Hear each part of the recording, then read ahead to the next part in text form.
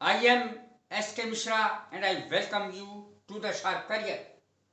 प्रसाद, भगवान का प्रसाद इसकी अंग्रेज़ी आपने कभी नहीं सुनी होगी, लेकिन आज सुन लें प्रसाद, भगवान का प्रसाद, देवी देवताओं का प्रसाद ऑब्लेशन ऑफरिंग दो अंग्रेज़ी होती है इसकी ये नाम है ऑब्लेशन भी ऑफरिंग भी ऑब्लेशन ऑफरिंग देखें इसका सेंटेंस चालीस किलो मिठाई का प्रसाद। मंदिर में ऐसे ही प्रसाद चढ़ते हैं। बीस किलो, दस किलो, पचास किलो, सौ किलो भी चढ़ता है। An oblation of forty kilo twenty kilo thirty kilo fifty kilo of sweets अर्थात चालीस किलो मिठाई का प्रसाद। प्रसाद चढ़ाना ये एक वर्ब है। Offer to offer an oblation. मैं रोज़ाना भगवान को प्रसाद चढ़ाता हूँ। आई ऑफ़र ऑफ़र शब्द का प्रयोग होता है। ऑफ़र एन ऑब्लिशन प्रसाद चढ़ाना। I offer an oblation to God daily अब समझें गॉड यानी जी कैपिटल लेटर से केवल भगवान के लिए होता है। यानी एक ईश्वर के लिए। गॉड एक ईश्वर।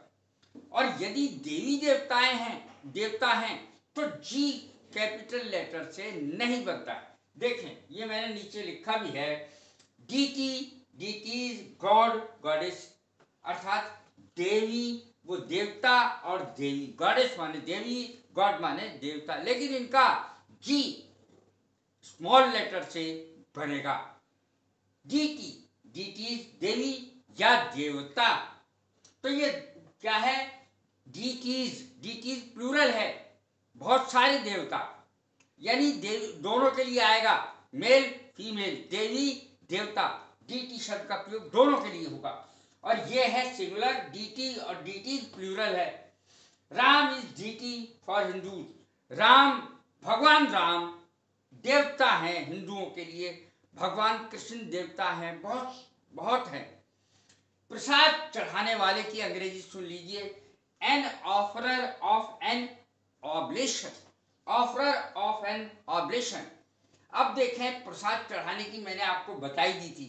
मैं रोज़ाना भगवान का प्रसाद चढ़ाता हूँ, इसकी भी बता दी थी मैंने। I offer an oblation to God daily वह हर मंगलवार को प्रसाद चढ़ाने जाती है।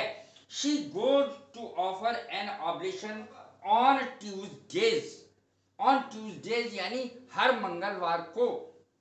यदि आपको सोमवार कहना है ऑन मंडेज और कोई दिन कहना है तो ऐसे लगा दीजिए उसमें। डी की, ये मैं पहले ही आपको बता चुका हूँ, वह हर मंगलवार को प्रसाद चढ़ाने जाती है या जाता है। ये किसी का नाम लिखना है, वो लिख दीजिए। He goes to offer an operation on Tuesdays कैसी लगी है मेरी वीडियो? लाइक करें शेयर करें सब्सक्राइब करें। God bless